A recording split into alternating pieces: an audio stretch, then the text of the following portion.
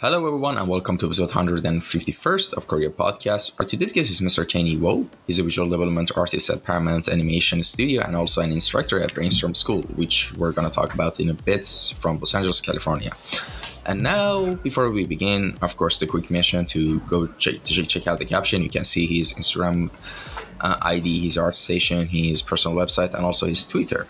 So, you know, those are the plugs that you can check for t- today's guest. And with that being said, let's jump into the first question. Give us a little introduction on how we got into the world of visual arts and design. Basically, what was that spark that made you go, ah, I want to become an artist? Yeah, um, you know, it's it's funny. Like, I uh, I you know, going into college, I, I was trying to do pre med before, and you know, it's just kind of the thing that I was kind of told to do, and you know, it was the, it was the very popular thing of you know, of, of out, out of me, my friend group, and family and stuff like that. And I think like two years into it, you know, I just realized I just didn't like it. You know, I just um, I was you know I was doing my tests, I was doing fine. You know, I wasn't like failing or anything, but um, you know, I, I had to kind of like I don't know sit down and, and think like do i want to be doing this for the rest of my life? And i kind of just thought back as you know when i was a kid and I, I drew a lot right? I didn't i didn't think anything of it right? I didn't think that it was going to be a career uh, move or anything it was just i just happened to draw in my free time every once in a while. And then eventually that kind of led me to decide oh yeah maybe uh, maybe i can draw for a living. So i was like well i like cars and then i like drawing and the initial spark kind of happened to where oh maybe i can be a vehicle designer. But then you know uh, eventually as i was d- diving deeper and deeper into the uh, art field i started kind of figuring out what i truly liked and uh, you know exploring different avenues and eventually led led to, to where i am now in uh, visual development for animation. So that's interesting from med school to art wasn't med school. It was pre med. So we were just. Uh, it was like still undergrad. I wasn't. Uh, I wasn't that good. no, but still, that's kind of that's kind of cool. Yeah. And yeah, I mean, so you kind of explained to us like you know about your background, but here's the thing: like, if you could, you know, say something to your 18 year old version of yourself, um, like, just here's the challenge of it. You could only say just one piece of advice, not a couple of things or advice, right? If you could say one thing to your 18 year old self, what would you say? Man, that's that's tough. you know, there's so there's so many things, right? It's uh, it's um, you know, the 18 year old me didn't uh, didn't know much. Uh, you know, I'd say like just you know do whatever it is that you want to do and just be good at it. You know, um, the thing the thing about me growing up as a kid was uh, I was just kind of told what to do. You know, uh, you know people believe that oh i should be doing these things. You should you should do this. This is your next step kind of thing you know? And you know i never really enjoyed things. I was kind of known as a uh, as a kid that uh, kind of dropped things really easily right? You kind of get into things and there was no like drive or motivation kind of keeping you in it. And it's because you know oftentimes it really wasn't my choice to start doing that thing whatever it was. And it took us it took a second, but finally, when I made a choice to do what I wanted to do, um, you know, something in me kind of changed. And if if that could have happened earlier, I think that would have been really cool. So, but uh, you know. Yeah, and well, I mean, in the introduction, I already mentioned that you're visual development artist, and but here's the thing: we want to get a little, little bit more in depth. Like, what is your main branch of design that you're working on right now and tell us about your experience from the start of it until now. I mean and also there's this thing like you know when you get into art then after a while you realize oh i need to be professional at it then you have to like you know actually become like be specific at a certain field. Like you, you you should do for example go to illustration concept art then after that it gets more specific and specific. So you basically have to become a specialist. And that's a whole process in itself. And also explain to us how that process went for you that you stumble upon visual development? Yeah. so I guess for the first question, you know, from how it started to where I am now, like, uh, so I guess from uh, I'm originally from uh, from Texas. I was going to University of Houston, and then uh, once I decided to make that switch into something more art related, um, the the first thing that I uh, kind of fell into was uh, Gnomon School of Visual Effects. So. Uh, my uncle was moving out to California, and I decided to move with him. And I took about I, I I get accepted into the course, and then took uh, the uh, took the three year track. I only did one year of it, but I did take. I was in the three year course, and then after that first year, you know, I, I kind of started thinking like, I don't know if I like modeling that much. I I really enjoyed the uh, the concept art aspect of what we were learning, right? Because uh, that first year is kind of more like drawing fundamentals and painting and stuff, and I really enjoyed it so then that's when I kind of uh, was stumbling around looking for things, and then I found Brainstorm. That's when uh, 2015 is when Brainstorm School opened. Uh, you know, the first term, and I was uh, part initially part of that first term. And from there, it was just full force concept art, and then after about uh, two years of you know blood, sweat, and tears. um, I eventually uh, got uh, picked up by uh, my you know mentor and boss uh, James Paick. Um, he he he runs a, a uh, outsourcing studio called Scribblepad Studios, where you know he kind of trained me from uh, junior level artist to eventually I became the lead lead concept artist at that studio after about three years. And then from there, I wanted to kind of spread my wings a little bit and and learn under other other people and you know uh, kind of develop as an artist a little bit more. So I decided to um, go over to a studio in the Bay Area in the uh, called uh, Machine Zone, where a friend of mine was working and an art director that I uh, was familiar with uh, was working, where I got to learn some new things and experience things a little bit more on my own, you know.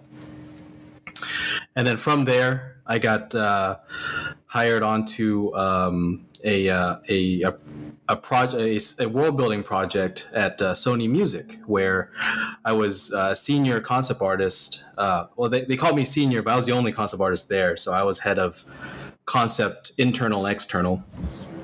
Where I got to kind of, uh, you know, kind of just develop a whole world, right? I was the the the sole image maker, and just kind of developing all the visuals and and, and really moving into a, uh, a more uh, free and open type of position, you know?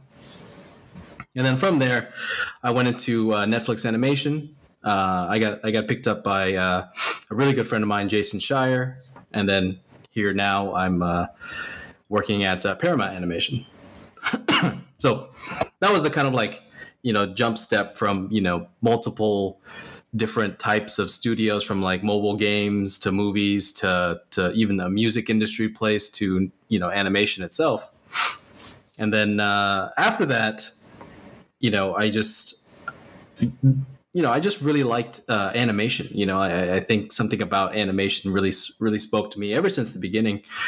And now that I'm like kind of in it, it's it's been really fun. You know, I, I really like the storytelling aspect. I really like the uh, the uh, the life and uh, the, the the colors and, and and everything about the stylization that you can do in this animation medium versus like uh, versus like movies, for example. You know.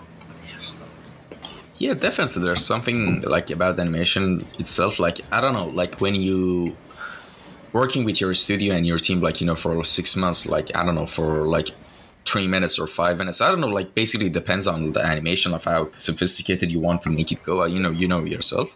Um, but you know, after you work and sweat and and work so hard like on a piece of like let's say for example 10 minutes of animation for example in six months. And you actually like you know see the result at the end. It's kind of satisfying. It's like you climb you can see the result of that mountain you guys climbed. And yeah i think that that's kind of like you know could be a romantic idea in itself. And yeah. um, yeah that's the coolest thing right? Like mm-hmm. my my my one of my my first studios i was at we were outsourcing. So, you know, we kind of get an assignment and then we send it back and you know, that's that's kind of the end of it. You really don't see it too often, or at least whatever final form it kind of ends up being. but you know, uh, in in the, the the studios I'm at now, slash some of the studios before, you know, I'll make something and then I'll literally hand it off to somebody else and watch it kind of get developed, and then all of a sudden it's on the screen or it's in a game or it's like you know you're kind of messing with it. It's it's so surreal, you know, because you remember thinking about, oh yeah, I was, I was designing all these parts for it. I was thinking about how this thing moves and there it is. You know, it's it's it's insane. Yeah, interesting. And um, speaking of like you know the work process, I want to ask you this: How does your design process usually go anytime you want to start working on a project? Like basically, what does a pipeline of your structure look like? yeah, um, I guess generally speaking, or I guess to to kind of uh, to to to start that right, I, my I guess my skill set it really is uh, more in the earlier development, right? I am uh, kind of in more blue sky development and uh, the more kind of early pitch work. So right now, for example, we're kind of thinking about the world, trying to gather inspiration and get first looks at things, and that's kind of where my skills excel. Uh, so for me, uh, in my workflow, uh, usually I'll get maybe some sort of like a script uh, you know, a small paragraph, a uh, some sort of launch material. Just it's like no imagery, and it's basically they don't have anything yet. And what they say is, oh yeah, so this is the kind of base idea, and then go for it. So what that entails is usually I kind of do some legwork. I'll uh, do some research on some of the initial things that I, that I kind of that kind of popped into mind as I initial uh, when I initially heard the the prompt or whatever it is and then I'll just start gathering reference, uh, maybe for like a day straight. I, I'm I, I, really like just kind of getting immersed in the world in terms of just gathering reference and making sure that I understand all the pieces that I'm putting together. and then after that, I'll usually just go straight into uh, creating the uh, the uh, the initial kind of images through uh, through Photoshop. So I'll do some sketches, um, you know, photo bash or or uh, or or paint it depending on what style you know need, I need at the end, and then just to tr- basically try to get that initial image out of my head as quick as I can. That way, we kind of have something to work with. You know, I can I can sh- I can show the directors and be like, does this work for you? Is this something that uh, you like? And then I can kind of uh, build and, and branch off from there. You know. All right, and. Um here's the thing. Um, I already like you know saw in your um, saw in your Instagram and also ArtStation that you're also an instructor at Brainstorm School. Like you know, for everyone who doesn't know, Brainstorm School is a school that was founded by John Park and uh, there was another artist. Uh, I forgot. James Paick. Yeah, James Paick, and um, yeah, they're really great artists themselves. And um, Brainstorm School. Tell us about your experience as a teacher and also your experience of uh, you know teaching world building specifically because that's I think one of the classes you do, right? Yeah. So. you know, teaching at uh, Brainstorm is great. I, uh, you know, like like I was saying earlier, I, I started there. I, I went to school there. I was one of the first students that kind of was, you know, taking classes there, and you know, I really uh, I really enjoyed it because the way the way they uh, run Brainstorm is, you know, they they hire professionals, uh, professional artists that have industry experience, uh, where you, you have a not only the skills of understanding the topic that you that you're teaching, but also the um, you know the the I guess uh, professional experience to kind of back it up, right? Because you you know how like you learn something in school one way, but it's you know oftentimes in a professional setting done you know slightly differently, or they kind of skip some steps and stuff like that. And I think with that uh, that combination of understanding the fundamentals and basics, as well as that professional experience, really creates a uh, a really strong you know teaching environment for the students there. So as as for my experience there, it's it's been great. You know, um, I feel like the students that uh, you know that I've, I've I've been fortunate enough to teach in uh, my World Building two class and my ENT one class. Uh, it's been it's been amazing, right? Uh, they you know I learned from them just as much as uh, they learned from me, right? Because you know I'm only teaching kind of like my uh, my experience and and what I've kind of gone through and and and problem solved things that that I've had to do, you know.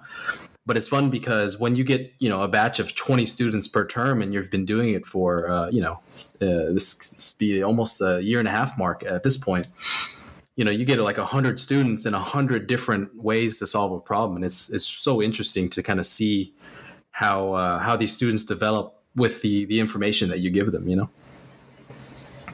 yeah, and uh, well, here's the thing. Um, for most of us that are like you know are interested in digital art and you know we're in this field, um, one of the main inspirations was, and it still is, video games. And also, I'm mentioning this because I see that beautifully framed, like you know, Nintendo, like uh, behind your back.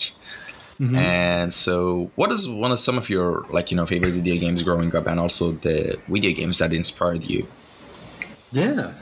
so yeah, like you know, as you mentioned, uh, you know that's uh, that's my Game Boy that I bought, and I kind I, I just wanted something to do, and I wanted some. I just moved into this new apartment. I wanted some decorations, and I just bought a broken Game Boy. It it's it looks exactly the same as the one that I had as a kid.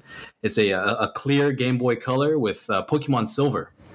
And so, as a kid, that was my favorite game. It was it was also my only game for for for a while, but you know, I loved it. I played it every day. Like you couldn't separate it from me, you know. And then, you know, as I got older and I was, I guess, able to understand more difficult games, I started getting into the Final Fantasy series. You know, uh, Final Fantasy VII, uh, uh, you know, classic. Uh, one of the uh, one of the bigger inspirations for me uh, in terms of games, and then from there, you know, just a lot of like uh, fighting games like Street Fighter, uh, you know, King of Fighters, uh, Smash, and all that stuff. I, uh, I guess as a kid, I kind of played a little more um, story-driven games, but then as I got older, I guess more coordinated as well. Um, I started just playing a little more competitive games because I just I just enjoy that competition. You know, I just uh, you know ever since I was a kid, I, I've kind of been like that. So. All right, and here's the thing: like while I was asking this, of course, of course, I realized I messed up by saying Nintendo instead of Game Boy. But besides that, um, there's another thing I kind of realized that I was like, hmm, one of the games that really shit, some of the games that really like you know, not necessarily were my favorites, but they kind of like you know, they, they had that like you know memorability aspect for me, like you know, which was Gears of War 2 and Fallout 3 and Here's the kicker, I realized. Gears of War 2 is from 2006 and Fallout 3 is from 2007 and I realized wait, I'm I'm officially old now. It was it, it was 14 years ago. Yeah. God. It's it's insane, man. Um, you know the new uh, the new Pokemon uh, Arceus came out right not that long ago. Yeah, and I was like, I remember playing Blue, right? As like like my brother had blue and i remember thinking like these graphics are insane. You know this is like the craziest thing and it's not like it's not an old game to me. You know mentally i, I remember playing it but then just playing through the new game now i'm just like man this is crazy. Like how far things have come in just my lifetime you know? Not to mention you know everything that came before me and, and everything that will come after you know? Yeah definitely. It's crazy and um, yeah, let me ask you a particularly hard question that I don't think it's hard, but you know, a lot of the guests says it's hard. Don't worry, it's nothing personal or anything like that. Mm-hmm. um, it's who are your favorite artists and designers that have inspired you the most? Man, yeah, no, that's a good one. you know, because there's, I guess there's so many artists that like uh, I kind of reference as as I'm working and as I'm as I'm developing. You know, um, I think uh, there's there's a couple different types of artists that uh, inspire me for like different reasons, right? So, for example, I think uh, uh one of my more prominent inspirations currently at the moment is uh, like Alberto Mielgo. You know, um, he uh, his look, his style, his his graphic approach, and just painting style for me is so cool. Like just how to like simplifying something to its like core elements and really making it feel real still you know? So that's the uh, i'd say that that's one of the bigger ones. Um, you know i really enjoy uh, ryan lang's work. Um, you know super inspiring you know character uh, character artist or just viz dev artist in general but you know he, he does a lot of character stuff and even as an environment artist myself um, you know, it's still really cool to see the the story storytelling and the in the moments that he can kind of bring it, in his images. You know. And after that, you know, uh, artists artists like uh, James Paick and, and John Park, I think for me are are in, inspiring, not only because of the work that they do, which is uh, you know amazing and mind blowing, but also like you know I know them on a on a more personal level, and seeing how they navigate you know the industry, you know the things that they do, and the the uh, I guess the uh, the the value that they can bring to their clients, you know, their students or anything that they do, for me is one of the more important inspirations that I have. You know, I think for me, art is, you know, one aspect, like the the visual aspect of art is one aspect of like kind of what makes us uh, you know strong designers right? But there's also you know the business side there's also the uh, the management side there's also um, you know the the the more guidance the you know teamwork aspects and all those things. And um, I think John Park and, and James Paick you know do that in spades. So all right. And here's the thing I forgot to ask you, like I just remembered. What do you think about this whole like, you know, Pokemon collection, card collection thing? Do you do you own anything? Do you just you're probably of course you're a fan of the game and franchise, but you know, what do you think about it?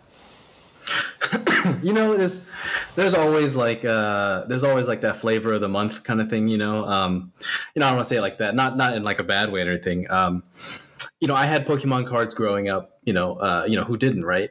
Um but uh, you know, I just I, I, just haven't gotten into it lately. I know uh, a couple of my friends, you know, have really dived in, and I, I for me, I just you know, I'm just not in, into it as much. You know, this. Uh, I, I enjoy the cards for what they are. You know, I, I enjoy the art and I enjoy the you know the game that's that that's played. But uh, in terms of like collecting and and and, and you know. Uh, running into like stores and trying to trying to buy up their stock, you know, I, I don't know if that's if that's for me. Yeah, I mean it's kind of insane that you know people there's like even I'm not really into it. And here's the thing: I as a kid I didn't grow up with Pokemon, so maybe of course you know if I did grow up as a Pokemon, I would have a different feeling. But like you know, there's like two hundred thousand, two hundred fifty thousand Charizard like holographic cards. I don't even know what that means, but it's kind of insane. Like it just for for because of the sheer vastness of the cultural impact of uh, and how popular it is that's why it's so valuable. But it's kind of weird to like you know trying to like how technically could you like you know evaluate something like that like an item like that? Because i don't like maybe i'm ignorant about it but basically um like how does one evaluate something that is just valuable in terms of like you know the cultural impact, you know, not necessarily because of the material, not necessarily because of the cost of production, you know, and all that stuff. Mm-hmm. So, you know, it kind of makes you think when it comes to like, you know, even stuff like NFTs, you know, mm-hmm. they're kind of similar in that sense. What do you think? Yeah, you know, it's it's really as valuable as we we people, you know, give it give it that value. You know, it's uh, you know whether whether it's um, you know something that is uh you know something that's going to change the world you know who knows really you know uh, it's for me personally you know talking about more nfts than pokemon right it's something that i do feel has potential to be something right? I, I think it's still so early staged right now and uh, you know there's I, I, you know if, if you're not if you're not totally informed by it, you can kind of just look out and see like, oh, it's just a it's just a cash grab. You know, it doesn't really quite make sense. But if you dive into it a little a little bit more, it's just it's just in its early stages. You know, when people are scrambling to kind of figure out like what can we do with this because it's it's, it's officially like kind of put value back into uh, digital artists. You know, I think before you know there was this outside of the entertainment industry right there was this I don't know, uh, judgment when it came to digital art. You know, it's like, oh, you just do it on the computer, or or it's oh, it's just a it's just a JPEG file. You know, it's it's not an oil painting. It's not something I can hang on my wall, right? And I think for me, NFTs are are, are breaking that barrier for us. And you know, maybe right now, right, some of the things that you, we've seen, you know, whether whether you like it or not, I don't know if that's going to be the track that we take from here until you know 100 years from now but i think it's a really cool start right finally digital art is getting that respect or getting that uh, that look at that you know traditional art has gotten for you know thousands of years or however long it's been hundreds of years um, so I definitely think that it's it's going to be something. I just I just don't know. I just don't quite know what it is right now. You know. Yeah, that those are actually like great points, and I hundred percent like you know I agree with the fact that you know in the at the end of the day it like you know gives it puts a lot of respect on like you know the whole uh, discipline of digital art in general and it actually puts a lot of eyes on that on it you know? There's so many people mm-hmm. who transition. I mean of course here's the thing there's there's both cons and you know and you know pros with everything you know but I but I also like you know believe that is it has a lot of potential and future. But unfortunately, like you know, basically right now the ecosystem is not that very like you know um, healthy. I would say, um, like like mostly, not all of it. Because here's the thing: like in the in last year, near like the January and the end of the fall, fall of 2020 was the time that the NFTs kind of boomed. You know, I don't know if you remember, mm-hmm. and. Yeah, yeah. Uh, during the time, you know, a lot of people like as an artist, you try to find you know different source of like you know income incomes or you know different ways to you know make some revenue, increase the revenue you have, your salaries.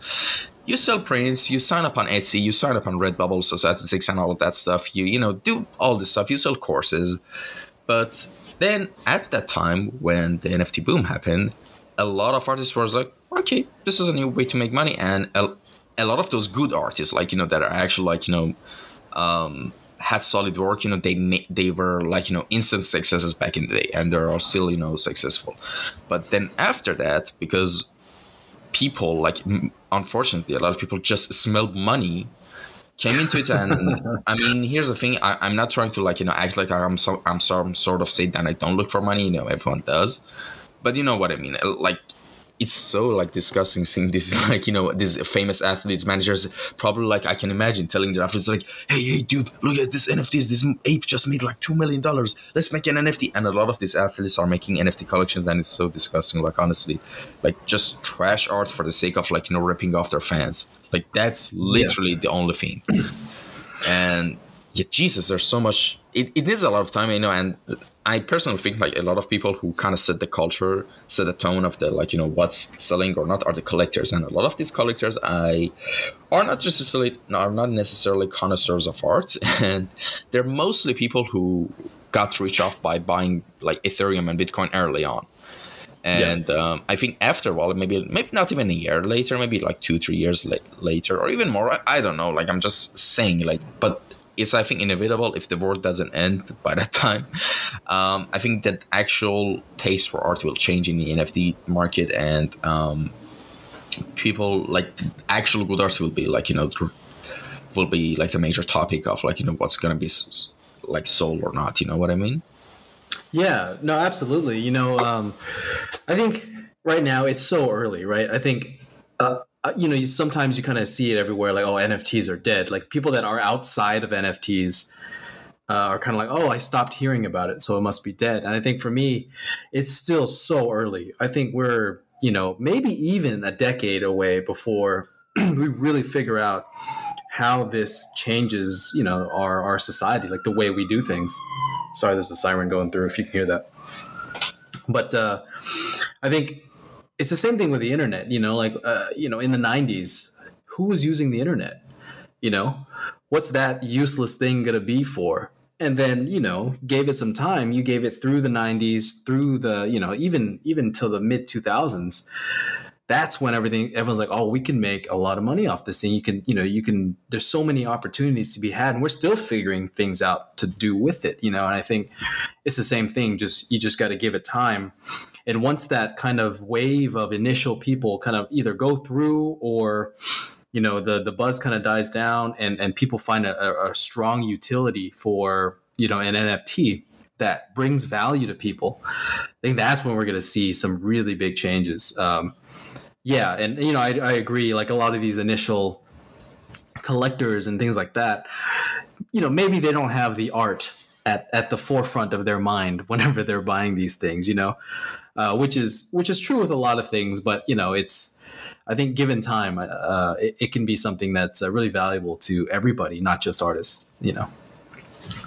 Yeah, definitely. And um, all right, let me ask you a question that I don't ask. I usually don't ask everyone. You know, like some questions are specific enough for some type of artist, but this time, you know, at this point where you're are a professional working in the industry and you had a lot of other professionals working in different studios, you know, teaching and all that stuff, I'm gonna ask you this: Any advice and tips for a good portfolio and resume for artists who want to break into the industry? Like, you know, some in your experience, of course, what's really helped? Yeah. Um, you know, as somebody that is often looking at portfolios and, you know, um, even in my ENT class, uh, I kind of help students build a portfolio. The the biggest thing that I that I recommend, right, is showing studios that you know what you're doing, right? It's not about uh, you know, it's not all. It's not completely about your ability to draw and paint, right? If you can draw well, you can paint well. That's still not quite what it takes to be a industry professional. You know, somebody that get hired onto a project has more skills than that. So when you put together a portfolio, it shouldn't be a collection of your best work. It should be a collection of work that works together that you can show to a studio that gives them confidence like, "Oh, hey, he knows what he or she knows what he's uh, they're doing, right?" and what that means is, you know, you create a um, let's say let, us say this like kind of epic keyframe right? Where you know the soldiers kind of running through a crowd or whatever right? And and this cool epic scenes kind of happening the keyframe the, the this is the what i always call like the moneymaker shot right?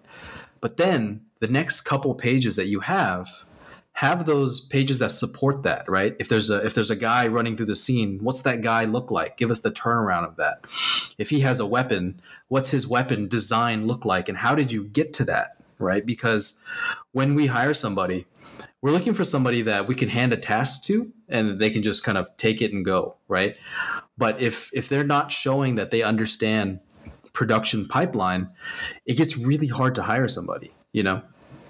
So art skill is important, right? That is the first thing that we kind of see, but that understanding of how that job works, right? As an environment artist, you need to show not only can you do environments, but you can do breakdowns, you can do different camera angles, different views, and you can show you know the next person in line how to you know uh, build out this scene right because we as concept artists or visual development artists uh, understanding that we're not the last person to touch this work right oftentimes we're the first or one of one of the the earlier people because these these images need to be handed off to somebody. They need to be uh, given to an animator, given to a modeler, VFX directors, whoever, and they need to understand what it means so they can build this set or uh, build this level or whatever it is. So, really showing those that understanding is the uh, the core thing that I try to push whenever I'm I'm talking about portfolio things. All right. And what are you working on that you can tell us about? I mean, of course, if there's no NDAs involved, um, in that case, what are you working on right now? Uh, I don't know if I can talk. Oh, okay. So I guess uh, right now I'm, I'm, I'm working at Netflix Animation uh, as well, uh, doing uh, doing a project called Blue Eye Samurai. Uh, I think I think the title was announced. You know, we can't show any work or anything, but uh, you know, it's uh, it, it's it's going to be this. Um, this this samurai uh, kind of revenge story, and it's uh, it's really fun. I think for me, it, it's really groundbreaking and interesting. So uh, definitely definitely something to, something to keep keep an eye out for. All right, and um, what area beside the area you're working on right now, which is of course in the art, like you know, um, discipline, would you be interested to explore and learn in the future? It could be something completely not related, by the way. What other things you're interested in other than art, basically? You know, yeah, I think uh, for me, um, the things I'm interested in now are oftentimes not art related, and the reason I say this is because like uh, they often tie back into art in some sort of way. You know, I think uh, you know recently I had been getting into uh, um, uh, programming and, and, and creating like uh, Raspberry Pi uh, projects and stuff like that. I made a, you know, like I said earlier, I was into Street Fighter, So I made a a Raspberry Pi uh, kind of arcade box where you know you have the buttons and the stick and everything all tied into a Raspberry Pi that had to kind of program out. And for me, like it was really interesting because for one, I'm learning a new skill. I me as a person, I just always I'm just always into learning something, you know.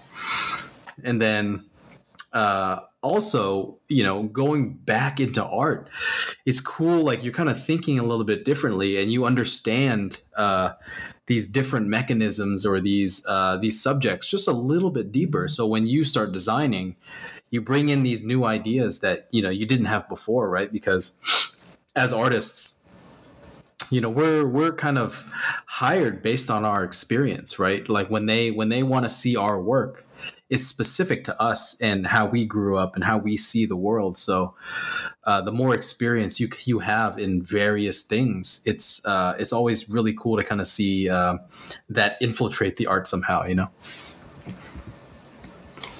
All right, and well, we've reached the final question and section of the podcast, which is called Final Words. And uh, let me explain what it means. Imagine in the limited amount of time that we have, we like right now in this window of time, you have an opportunity to say anything, a message or any messages to anyone who's potentially listening to this podcast at any point in the future. If that's the case, what would you say? Huh. you know, I think uh, you know anybody listening to this podcast, and uh, it was to uh, for for trying to get into the the uh, I guess visual development concept art industry, correct? Um, not necessarily visual development. There are artists from multiple, like you know, creatives. It doesn't have to be, by the way, an art. Like you know, advice. It could be anything from a human to another human, anything like you know, kind of like that. Oh yeah.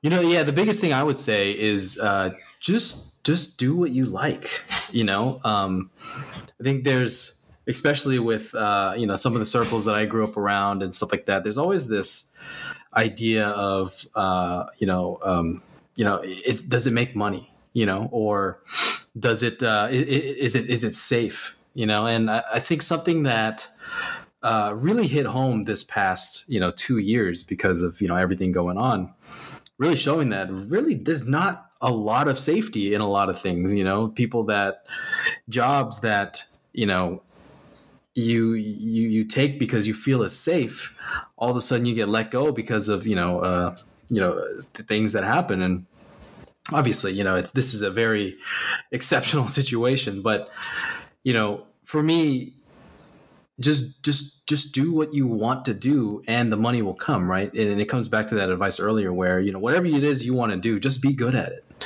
Because you know if you if you do something that you really enjoy you're going to you're going to put that much more time into it that somebody else won't right? That extra hour that you need to stay up or or or that uh, that little bit of motivation it takes to push past that level of enthusiast into professional right? It takes you know that little bit of little bit more motivation. And if you enjoy this thing it's it's going to be that much easier to to do it. And once you get good at it you know, money will come, right? People will pay for your expertise. You know, if you know how to do something, if you can provide value to somebody's life through the skills that you have, that's what's ultimately go- going to be your safety net, you know, providing value to people. Um, so just do whatever it is you want to do and just be good at it. You know, it's, uh, it sounds, you know, it sounds kind of like woo woo, but at the end of the day, you know, nothing is safe. And, you know, if, if nothing's safe, you might as well do something you want to do, you know? Yeah, that's definitely right. And um, here's the thing: I'm kind of like in the same boat with you, because here's the thing: I have like a plan to get like a like a like I'm not actually a professional artist or even an amateur artist at this point, like you know, to be honest. But like my goal is to get good at 3D so much that by the end of April I can get my first commission, whether it be modeling or texture, it doesn't matter.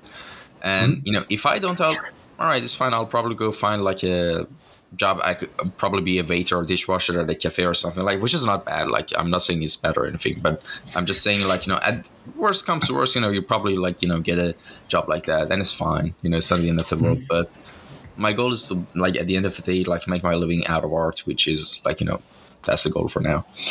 And mm-hmm. thank you so much for coming by. Where can people contact you if they had any questions? Yeah, you can uh, you know contact me on my uh, my Instagram at KennyVo Art or uh, my ArtStation as well. Uh, say all same tags uh, throughout all my social media, and, and yeah. All right, and thank you so much again for coming by, and thank you to anyone who tuned in and listened to this episode. I hope you're enjoying the new format of the graphics and uh, like you know of all this podcast because of course I haven't designed it yet, but in the for the episode 150 forward, I will change the formats and like you know the way the podcast works. As as usual, you know, if there's any comments or suggestions, let me know it down in the comments below. I will check them all out. And with that being said, take care everyone. Have a good day. Bye. Bye.